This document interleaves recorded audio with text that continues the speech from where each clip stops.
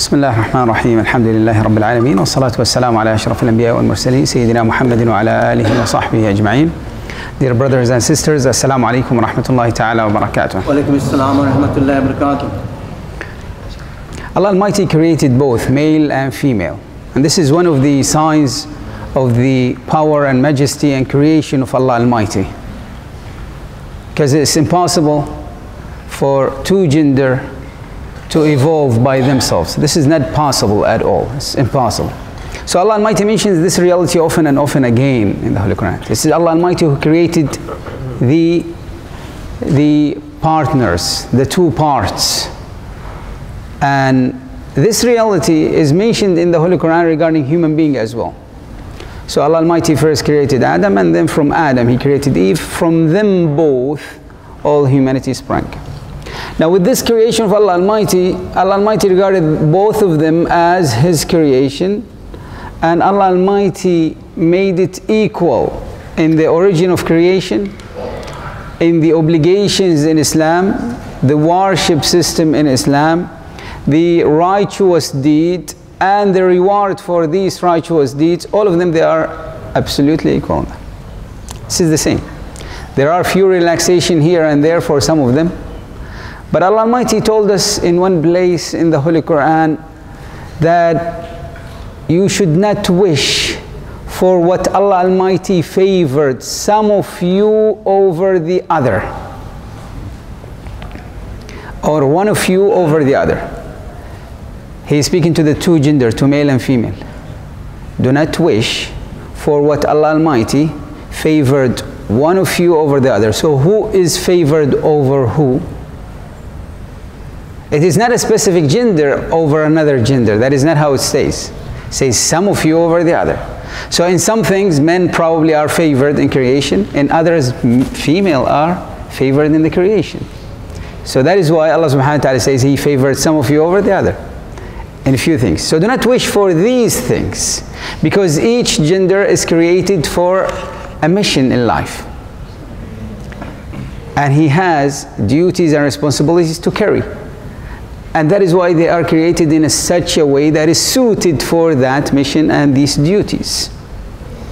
Now, we are speaking today uh, about an important aspect that some people might overlook.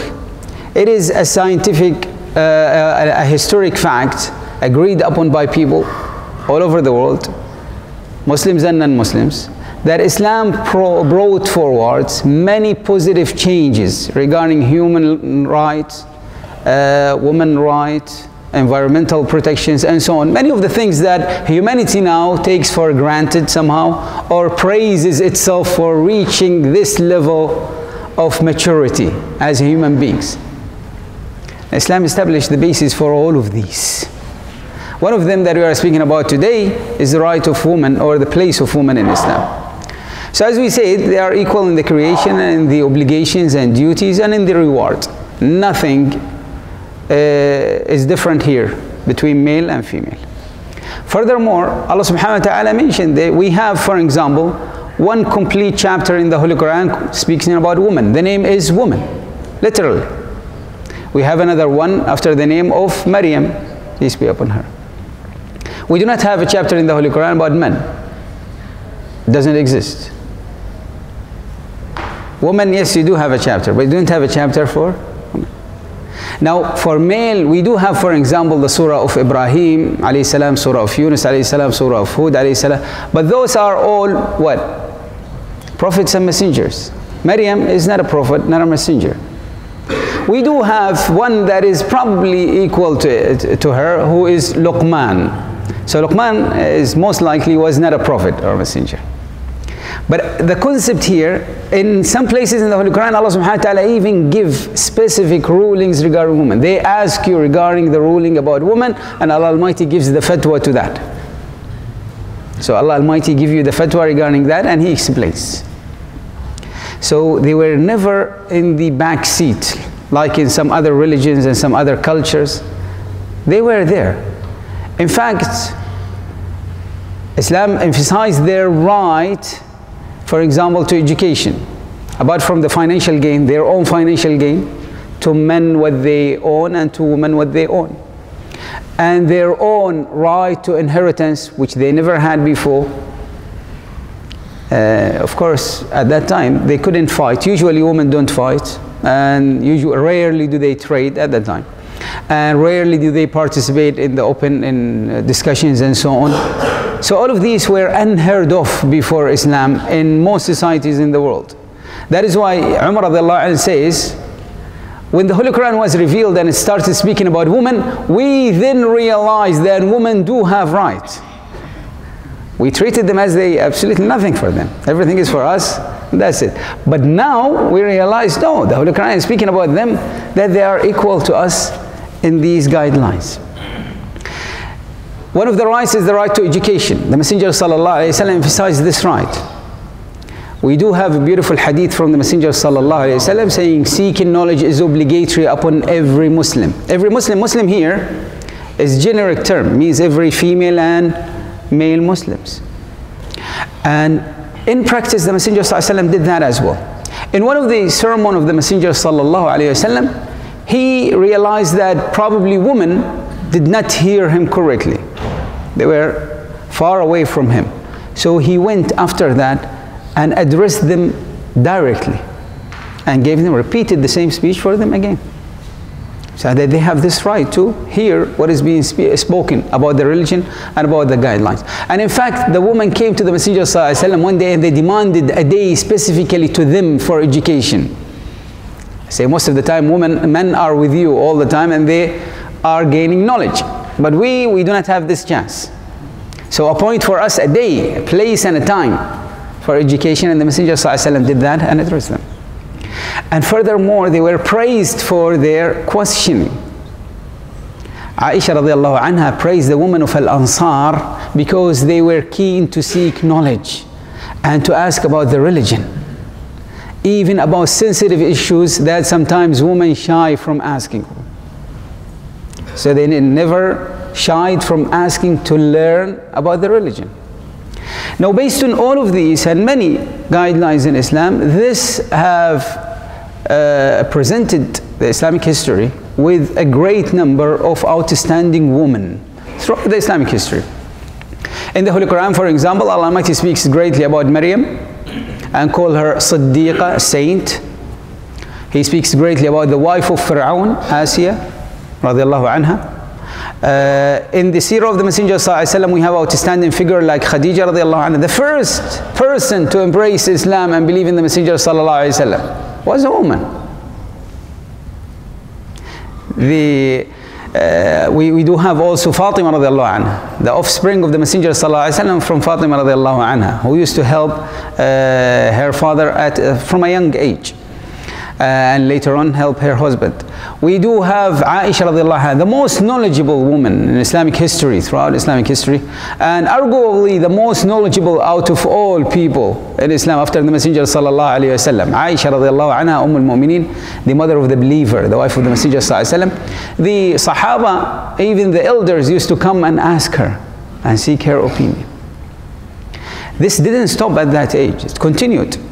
At the time of Umar radiallahu anh, for example, we have a Shifa radiallahu anha. And Umar radiallahu used to ask her and consult her a lot regarding many major issues. And he appointed her as the auditor in the market to make sure that people are not cheating and that the items and the quality of the item, quality check and quality control. The one who was in charge of that in Islamic history early on was a woman. That never stopped her from getting that because she had the knowledge and that she had the expertise. Umar appointed her in this sensitive uh, position.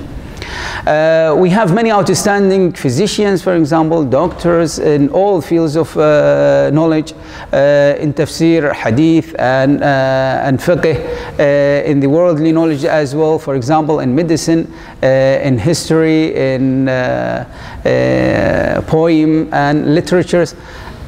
Uh, just to give you a, a, glimpse about the concept, just to give you a glimpse, there is a book published about the outstanding women in Islamic history. So speaking only about the outstanding among them.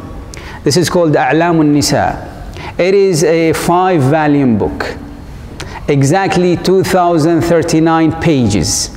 In some of the pages, you will find five names. So you can just guess how many are mentioned. Those are the outstanding women in history in every field uh, of knowledge. Now, uh, to give you also another glimpse, at the time of Ibn Asakir, approximately 900 years or so, uh, he, he is speaking about his own city only, in one city. And he mentioned the name of more than 500 female teacher who used to teach in different sciences at that time. You can only imagine uh, the concept. So they were, the opportunity was open in front of them. One outstanding innovation uh, at the time of the Messenger وسلم, that we still practice till today and probably forever all over the Islamic world was actually invented, the idea and the invention was by a woman. One of the Sahaba came to the Messenger وسلم, and presented him with the idea of having a pulpit, minbar so that people will see him and his voice will reach further. And the Messenger ﷺ agreed to that. And her own worker, she said, I have a worker who can do that, who can actually implement the idea.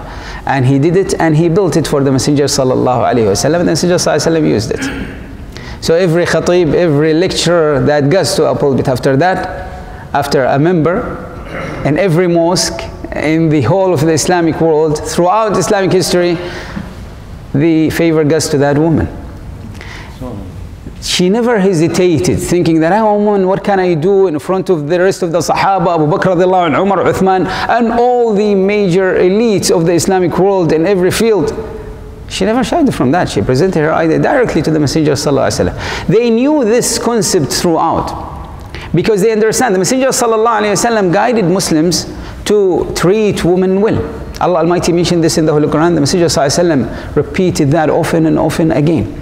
So much so the Messenger وسلم, puts the criteria for a person's goodness in the sight of Allah subhanahu wa ta'ala and in front of people is the way he treats his woman. The way you treat women, this is your criteria of being a gentle person or not, a noble person or not. The Messenger ﷺ said, the best among you are those who are best to their women. Yes, obviously. Because the way you treat your wife, your mother, your sister, your daughter, women around you, this is an actual indication of how good you are of a person. Because in, you are within a family, in closed circuits, so a person might do an injustice or some harm, God forbid. Nobody's seeing that, nobody's noticing it. A person might be bad to his family, but in front of people, he's the most noble, the most gentle. Nobody knows. So what is the real person? Is he the one inside the house or the one outside the house? The one inside the house, that is the real you. Outside the house, many people put a show, put a face only to impress people or to be thought of as being good people and so on. That is not the real you. The real you is the way you deal with the rest of the people within the society. Those that you have, you are in authority over them. So that is how careful it should be for a person when he is treating a woman and caring for them. This was a very quick glimpse about the idea because sadly there are some misconceptions among Muslims and non-Muslims alike about the role of women and uh, the position of women. This is an, an, uh, something that is uh, vastly uh, relaxed in Islam. Basically anything that suits them, anything that suits them, they can work in it. There are some guidelines for people, men and women, when going outside and dress code and behavior and so on. It applies to both of them. So within the Islamic guidelines, this is something that is uh, open for any woman to achieve. They are part of the society. They have great missions uh, inside the house and outside the house. One of the outstanding points in Islam is that it considered work inside the house as an equal work to men outside the house. Nothing, no favor. So that, that is considered work as well. Nowadays, sadly, sometimes people are referring to say, uh, is she a working woman or stay at home? No, this is wrong. Uh, it should be, is she working inside the house or outside the house? Because inside the house, she also have duties. And she is doing a great job. Uh, so that is the concept, this concept of clarifying this point. The Messenger وسلم, made a generic statement that women are the twins of men. Full stop. Everything. Women are the twins of men. And when the, they, they asked Aisha anha and the rest of the wives of the Messenger sallallahu about how the Messenger sallallahu was inside the house when he is with the family, how was he?